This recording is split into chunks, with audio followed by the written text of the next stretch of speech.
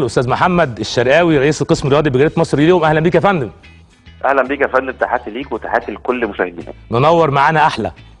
الله يخليك يا فندم. قول لنا بقى شايف إزاي أهم الأسباب اللي أدت النهارده لفوز نادي الزمالك؟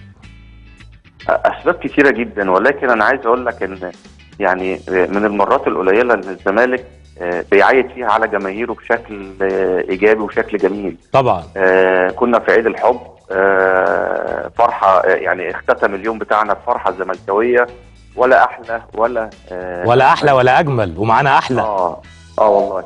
يعني كلنا فرحنا شفنا آه، منظومة متكاملة.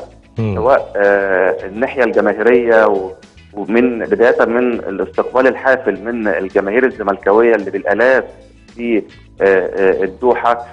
شفنا صورة جميلة جدا في استاد الغرافة بالدوحة. آه، من جماهير نادي الزمالك ال- الوفية اللي رغم إن كانت كل الأمور النظرية وكل التوقعات بتقول إن الترجي هو اللي هيكسب ولكن كانت الأغلبية في استاد الغرافه إمبارح لجماهير نادي ال- الزمالك اللي أنا بوجه لها من خلال حضرتك ومن خلال قناة المحور كل التحية على وقوفها طبعا طبعا. جدا ومساندتها لل وبضم صوتي لصوتك يا فندم.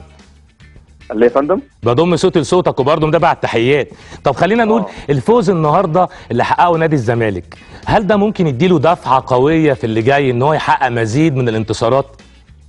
بالتأكيد يا فندم ده أمر طبيعي جدا. طب أنت شايف ملامح ده. إزاي في المرحلة اللي جاية؟ معنويات اللعيبة يعني عالية جدا. الناس خدت الثقة في نفسها بعد سلسلة من الاخفاقات في والنتائج بتاعه بطولة الدوري ال- آه، العام.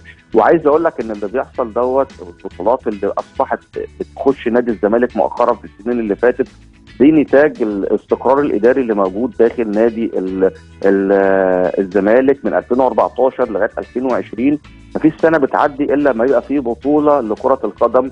آه وده يمكن قعد الزمالك قعد 10 سنين من 2004 ل 2014 10 سنين عجاف صحيح. إلا بطولة كاس آه آه وحيدة ولكن الحال تغير من 2014 لغاية 2020 وإن شاء الله يستمر ال- الإنجازات الزملكاوية في الفترة آه ال- اللي جاية زي ما قلت لك الاستقرار الإداري بيؤدي لنتائج إيجابية على صحيح الصعيد طبعاً، طبعاً. الصعيد الاجتماعي وعلى كل الاصعده طبعا بنهني نادي الزمالك وبنهني كل لعيبة الزمالك وبنهني المستشار مرتضى منصور على هذا الانتصار وبنتمنى إن شاء الله مزيد من الانتصارات للقلعة البيضاء. بنشكر حضرتك أستاذ محمد الشراوي رئيس القسم الرياضي بجريدة المصري اليوم.